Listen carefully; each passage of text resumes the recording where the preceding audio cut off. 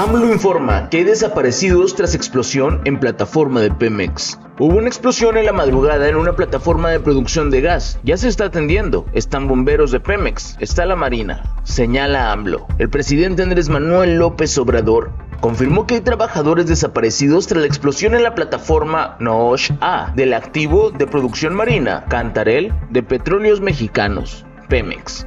Este, hubo una explosión en la madrugada de una plataforma de producción de gas, ya se está atendiendo.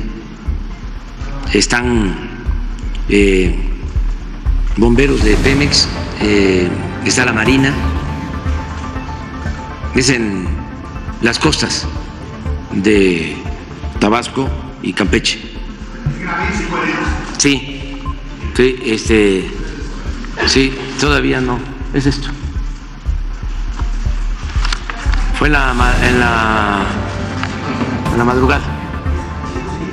Ahí eh, se registran algunos desaparecidos y sí, tres o cuatro.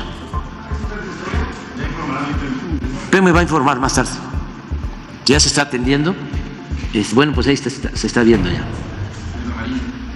Ya está. Evacuaron a todo el personal, sí. Muy bien. Este, eh, un abrazo para todos los trabajadores de Pemex, familiares y todo.